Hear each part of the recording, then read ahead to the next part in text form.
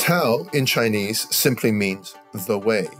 As a philosophy, it is to find balance and harmony with the universe. Welcome to the Tao of Chao podcast.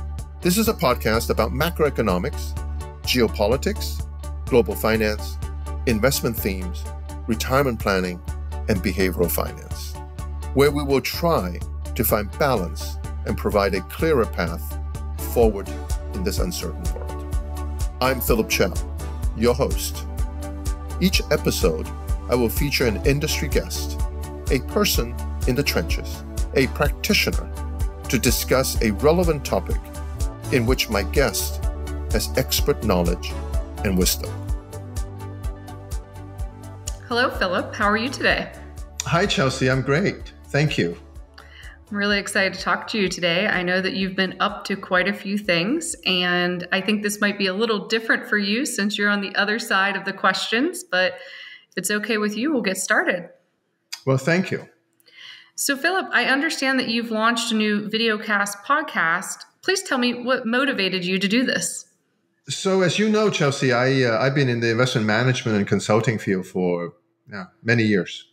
So, regardless if I am assisting family to preserve their wealth or to secure a standard of living for, for life or, or to help institutions to meet their long term missions, a really important part of my daily activities is to really develop and secure a top down view about global economic environment, um, you know, sort of big picture, and to identify macro trends to be opportunistic or to be more informed about risks and you know, investing is really about balancing uh, risk and reward. Hopefully, more reward, less risk. So my thought process uh, needs to remain open, agile, supple, you know, and sure-footed. So I often reach out to subject matter experts to inquire to understand their developing views or their convictions and the opportunity set that they see value or danger and, and why. So, as such, that uh, over the past two decades, I have spent time with many experts on a one on one basis and have really benefited a great deal uh, from these kind of trans- uh, conversations. Um, it could either be affirming, you say, gosh, you know, we are thinking alike, which sometimes worries me because we're all thinking alike, then really have no diversity. Uh, but I like that because people like what I'm thinking or I like what they're thinking, so to speak. And then there are times that they they have a totally different uh, viewpoint, which is really really helpful too, to see what is missing and what am I, you know, not thinking about. So during COVID, uh, we started to use video conferencing, you know, as a substitute. We just kind of sit at our respected places.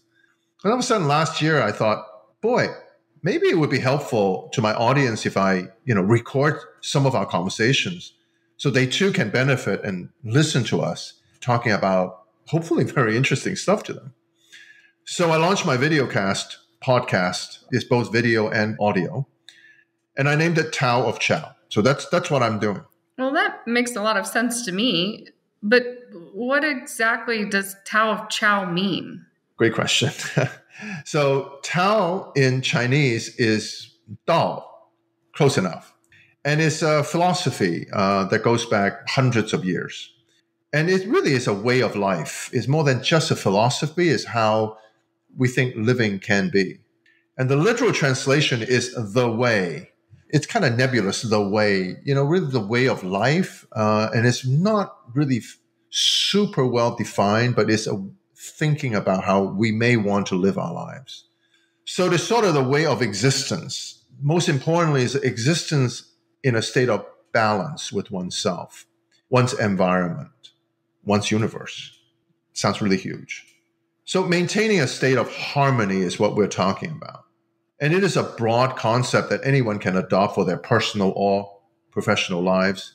In this case, I'm hoping to bring this idea, this balance, by incorporating it into asset allocation, macroeconomics, government policies like fiscal and monetary policies, and touching on geopolitics and behavioral finance lots of lots of topics, but there are threads that they touch each other and how they work with each other in ways that we may not maybe not even thought about. So the end is about, of course, ourselves, our biases, and our blind spots, and how we can maintain balance by being more informed and more aware of our environment. So that's Tao, right? I mean, that's what is supposed to help us. So more and more uh, from social media to politics to investing and to our daily lives, just turning on television or your whatever account that you use for social media, and you listen and you you see the conversations. I hear extremes, even though we do not live in a life with binary outcomes, right? It's either this or that. And we operate really in a spectrum of colors or shades of gray. And in investing, we are looking for that optimal outcome that balances risk and return and protecting downside, meaning losses, while reaching for the upside. So we're trying to shed some light on how to find balance in managing money, in portfolio construction, in linking many things in this world together in a cohesive and understandable way. And so that's why I call it Tao of Chao. Well, it sounds very fascinating, and I can't wait to hear what all you're going to be discussing on it. Would you be willing to give us any sneak peek as to or previews as to who you might be talking to? Uh, I'm happy to do that after we turn off the mic, but not now. Thank you for asking, and stay tuned. I think uh, I'm going to have a lot of fun, and I, I really hope that uh, folks who are following or, or decide to listen to any one podcast uh, walk away um, feeling really positive or learn something or aha moments, uh, that will make me so gratified because I get that often in many of the podcasts that I have done, or not even podcasts, just conversation. Um, so hopefully that will be uh, the results. But thank you, thank you for asking these questions. You can always find more episodes by visiting philipchao.us slash podcast or find us on your favorite podcast app. You can always leave us feedback, ask questions, or request a topic for us to discuss by sending an email to pc at philipchao.us.